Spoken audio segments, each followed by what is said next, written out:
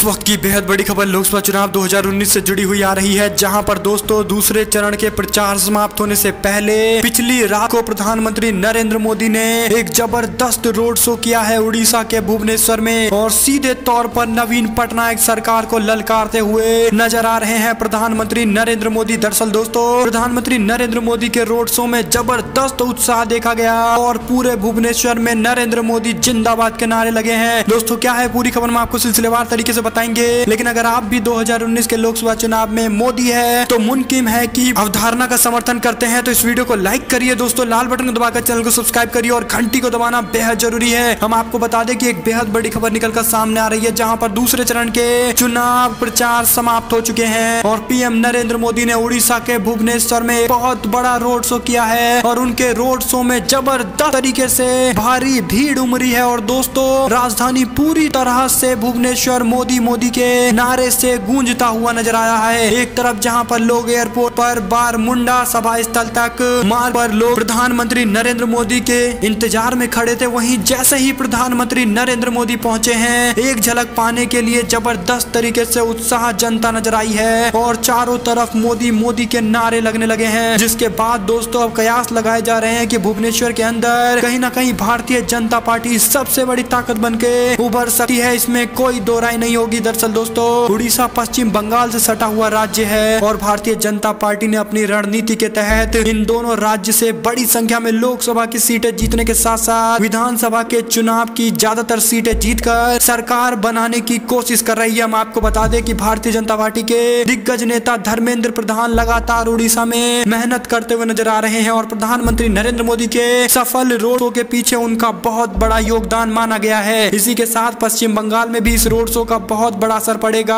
हम आपको बता दें कि भारतीय जनता पार्टी ने उड़ीसा को अपने सबसे सीट्स पर रखा है और अपने लक्ष्य के रूप में उड़ीसा के अंदर कमल खिलाने को अपनी सबसे बड़ी प्राथमिकता रखी है, क्योंकि भारतीय जनता पार्टी ने संबित पात्रा को पूरी के लोकसभा सीट से चुनावी मैदान में उतरकर उड़ीसा के चुनाव में किसी भी तरह की कोताही न बरतने के संकेत दे दिए हैं और ऐसे में प्रधानमंत्री नरेंद्र मोदी के दूसरे चरण के प्रचार के अंतिम दिन भुवनेश्वर में ज़बरदस्त रोड शो करके साफ़ इस बात के संकेत तो दे ही दिए हैं कि भारतीय जनता पार्टी उड़ीसा में एक बहुत बड़े बढ़त की ओर बढ़ रही है। दोस्तों, अगर आपको भी ऐसा लगता है तो आप वीडियो को लाइक करिए, लाल बटन को दबाकर चैनल को सब्सक्राइब करिए और घंटी को दबाना तो बेहद ही ज़रूरी है। दरअसल, दोस्तों, इस वक्त की बेहद बड़ी खबर, जहाँ पर ममता बनर्जी के लिए बांग्लादेशी स्टार ने किया है प्रचार और गृह मंत्रालय ने ब्लैक लिस्ट कर दिया है। दरअसल, दोस्तों, बांग्लादेशी अभिनेता फिरदोस अहमद ने तृणमूल कांग्रेस के उम्मीदवार के समर्थन में सोमवार को चुनाव प्रचार किया है। हम आपको बता दें कि लोकसभा चुनाव 2019 के लिए पश्चिम बंगाल में ममता बनर्जी सरकार के लिए चुनाव प्रचार करना बांग्लादेश के अभिनेता फिरदोस अहमद को भारी पड़ गया है। दरअसल गृह मंत्रालय ने ब्यूरो ऑफ़ इमिग्रेशन की रिपोर्ट मिलने के बाद कार्रवाई करते हुए बांग्लादेश के अभिनेता का बिज़नेस वीज़ा रद्द कर दिया है। इसके साथ ही गृह मंत्रालय ने फिरदोस को भारत छोड़ने का नोटिस भी जारी कर दिया है। वहीं पर गृह मंत्रालय ने उन्हें भविष्य में ब्लैक लिस्ट करने की भी इजाज़त दे दी है। दरअसल दोस्तों, बांग्लादेश के अभिनेता फिरदोस अहमद ने तृणमूल कांग्रेस के उम्मीदवार के समर्थन में सोमवार को चुनाव प्रचार किया था, जिसके बाद मंगलवार को गृह मंत्रालय ने कोलकाता के विदेश क्षेत्रीय पंजीकरण अधिकारी से इस मामले में रिपोर्ट मांगी है। बता दें कि बांग्लादेश के अभिनेता फिरदोस अहमद ने रायगंज में तृणमूल उम्मीदवार कन्हैया लाल अग्रवाल के समर्थन में चुनाव प्रचार किया है, जिसके बाद दोस्तों ये विवाद और आगे बढ़ता हुआ नज़र आ रहा है और भारतीय जनता पार्टी ने तृणमूल कांग्रेस पर निशाना साधना शुरू कर दिया है और कहना शुरू कर दिया है की एक घुसपैठी से भारतीय जनता पार्टी को चुनाव हराने के लिए तृणमूल कांग्रेस प्रचार प्रसार करवा रही है। इसी के साथ एक और बेहद बड़ी खबर लेते हैं, जहाँ पर लखनऊ में राजनाथ सिंह के खिलाफ लड़ेंगे आचार्य प्रमोद कृष्णम, कांग्रेस पार्टी ने घोषणा की है तीन उम्मीदवारों की। दरअसल दोस्तों, लोकसभा चुनाव 2019 के लिए कांग्रेस पार्टी ने तीन और उम्मीदवारों के नाम की घोषणा कर दी है। लखनऊ से कांग्रेस पार्टी ने अपना प्रत्याशी खड़ा किया है। लखनऊ लोकसभा से आचार्य प्रमोद कृष्णम को उम्मीदवार बनाया गया है। इसका अर्थ यह है की आचार्य प्रमोद का मुकाबला केंद्रीय मंत्री राजनाथ सिंह और समाजवादी पार्टी के प्रत्याशी पूनम सिन्हा से होगा। मध्य प्रदेश के इंदौर लोकसभा सीट पर कांग्रेस पार्टी ने अपने प्रत्याशी के नाम की घोषणा कर दी है। इंदौर से पंकज सांघवी कांग्रेस उम्मीदवार होंगे। वहीं पर इस सीट पर सबकी निगाहें बीजेपी के उम्मीदवार पर लटकी हुई है। हम आपको बता दें कि इस सीट पर बीजेपी के लंबे समय से सांसद रही सुमित्रा महाजन ने चुनाव न लड़ने से इनकार कर दिया है। इसी के साथ उन्होंने इनकार करते हुए यूपी के कैसरगंज के अंदर कांग्रेस पार्टी ने विनय कुमार पांडे को उम्मीदवार बनाया है। यहाँ से बीजेपी ने ब्रजभूषण शरण को अपना उम्मीदवार बनाया है। हालाँकि विनय कुमार पांडे श्रीवास्ती बीजेपी के दहन मिश्रा के खिलाफ चुनाव लड़ना चाहते थे। हम आपको बता दें कि भारतीय जनता पार्टी से जुड़ी हुई इस वक्त की बेहद बड़ी खबर निकल कर सामने आ रही है, जिससे हमने आपको पल पल की अपडेट के तहत रूबरू कराई है। एक और बेहद बड़ी खबर, जहाँ पर बिहार में आरजेडी को तगड़ा झटका लगता हुआ नज़र आ रहा है। लालू के भरोसेमंद नेता निर्दलीय चुनाव लड़ने का ऐलान कर चुके हैं। इससे पहले कांग्रेस के नेता शकील अहमद ने पार्टी के बागी तेवर अपनाते हुए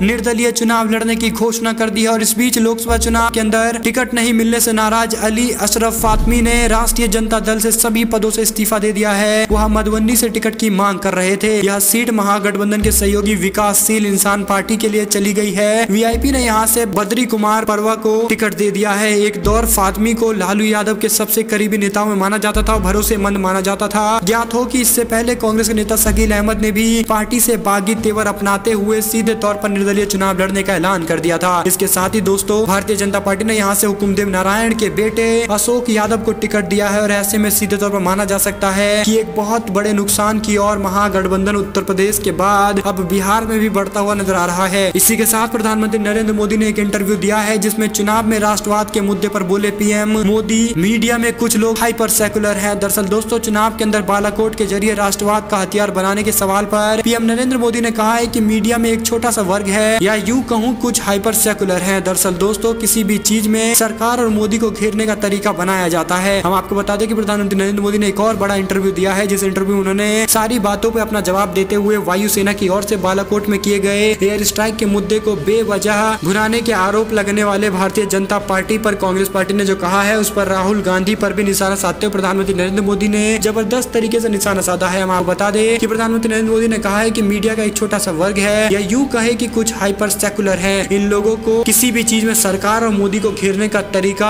बनाया हुआ है। उन्होंने आगे कहा कि हमारे देश में बोफोर्स का मुद्दा था, इसी पाप को धोने के लिए बिना किसी सबूत के छह महीने तक किसी भी जाँच के ये बोलते रहे कि राफेल के अंदर घोटाला हुआ है। उन्होंने कहा कि राष्ट्रवाद और भारतीय संस्कृति इसी के साथ देशभक्ति के मुद्दे पर भुनाने की भरपूर कोशिश की गई है। एक प्रकार से उन्होंने ज़मीन स्तर पर इस मुद्दे को उठाने की कोशिश की है। इसी के साथ दोस्तों, एक और बेहद बड़ी खबर, जहाँ पर राहुल गांधी पर और कांग्रेस पार्टी पर बेहद गंभीर आरोप लगते हुए नज़र आ रहे हैं। दरअसल प्रधानमंत्री नरेंद्र मोदी के नाम पे राहुल गांधी की रैली में भीड़ जुटाने की एक बड़ी खबर निकलकर सामने आई है। भारतीय जनता पार्टी ने सोमवार को एक आधिकारिक ट्विटर अकाउंट से इकतालीस सेकंड का एक वीडियो शेयर किया है, जिसमें लोग बता रहे हैं कि कांग्रेस वाले ने उनको बताया कि मोदी जी की रैली है और लोग देखने के लिए आ गए। यानी सीधे तौर पर राहुल गांधी की रैली को मोदी की रैली बताकर भीड़ जुटाने का ये बहुत बड़ी खबर निकलकर सामने आ रही है, जो कांग्रेस पार्टी ने ठगी का शिकार लोगों को बताया है। हम आपको बता दें कि भारतीय जनता पार्टी ने साफ़ तौर पर कांग्रेस पार्टी का ये बहुत बड़ा घोटाला बताया है। इसी के साथ दोस्तों पल पल के अपडेट के तहत हमने आपको सारी बड़ी खबरों से रूबरू कराई है। एक और बेहद बड़ी खबर लेते हैं, जहाँ पर दो आज तक के मैनपुरी के अंदर शो के दौरान सपा और बीजेपी के कार्यकर्ता आपस में भिड़ गए हैं। नेताओं की बढ़ती बदजुबानी पर आयोजित इस दंगल में दोनों दलों के कार्यकर्ताओं में मारपीट पर उतारू हो गए हैं। इसमें कुछ लोगों को चोट भी आई है, जबकि उत्तेजित कुछ कार्यकर्ताओं ने कुर्सी में तोड़फोड़ की है। मंच पर मौजूद नेताओं ने अपील की है कि बामुश्किल कार्यकर्ता शांत हो पाए हैं और दोनों कार्यकर्ताओं के बीच में ज़बरदस्त विवाद देखने को मिला है। हम आपको बता दें कि भारतीय जनता पार्टी और समाजवादी पार्टी उत्तर प्रदेश में एक दूसरे से मुकाबला कर रही है। ऐसे में कार्यकर्ताओं में जो जोश है, उसको लेकर आपस में होश गवाते हुए और आपस में ही लड़ाई दंगा करते हुए नज़र आ रहे हैं। इसी के साथ एक और बेहद बड़ी खबर, जहाँ पर बिहार के कटिहार में कांग्रेस के नेता नवजोत सिंह सिद्धू के बयान को लेकर चुनाव आयोग हो गया है। दरअसल दोस्तों, उम्मीदवार तारिक अनवर को वोट देने की मांग करते हुए सिद्धू नज़र आ रहे हैं और इस बीच उन्होंने जो एक बयान दे दिया है, जिसके बाद अब सिद्धू बैकफुट पर नज़र आ रहे हैं। सिद्धू ने क्या कहा था? उन्होंने कहा था कि अगर तुम लोग इकट्ठे हो जाओ, चौसठ प्रतिशत की तुम्हारी आबादी है, अल्पसंख्यक मेजोरिटी में है। यहाँ पर तुम अगर इकट्ठे हो जाते हो, एकजुट हो जाते हो तो वोट डालते हो तो इसका सीधा फ़र्क पड़ेगा और मोदी बाउंड्री के बाहर चला जाएगा। यानी नरेंद्र मोदी को सत्ता से हटाने के लिए एकजुट करते हुए वो भी धर्म के नाम पर नज़र आ रहे हैं। नवजोत सिंह सिद्धू और इस पर अब जाँच होनी है चुनाव आयोग के द्वारा। इसकी जो भी रिपोर्ट निकलकर सामने आएगी, जिस भी तरह की कार्रवाई की जाएगी, हम आपको पल पल के अपडेट के तहत रूबरू कराएँगे। सारी जानकारियों से आपको हम ज़रूर दो चार कराएँगे। दोस्तों, आपको खबर कैसी लगी? लाल बटन दबाइए, चैनल को सब्सक्राइब करिए और घंटी को दबाना तो बेहद ही ज़रूरी है। जुड़े रहने के लिए दोस्तों, भाइयों, बहनों, मित्रों का बहुत बहुत धन्यवाद। आप लोग देख रहे थे, आप लोग अपना चैनल, लेकिन दोनों जाने से पहले दोस्तों, आप हमें बता सकते हैं कि 2019 के लोकसभा चुनाव में आप किस तरह की चीज़ें आगे बढ़ते हुए देखते हैं और 2019 के लोकसभा चुनाव से जुड़ी हुई बेहद बड़ी खबर निकलकर सामने आ रही थी। इसी के साथ प्रधानमंत्री नरेंद्र मोदी को लेकर अगर आपको भी लगता है कि 2019 के लोकसभा चुनाव में मोदी है तो मुमकिन है तो वीडियो को लाइक करिए, लाल बटन दबाइए और हमारे साथ लगातार बने रहिए, जुड़े रहने का दोस्तों भाई बहनों, मित्रों का बहुत बहुत धन्यवाद। आप लोग देख रहे थे, आप लोग अपना चैनल जय हिंद, जय भारत, वंदे मातरम।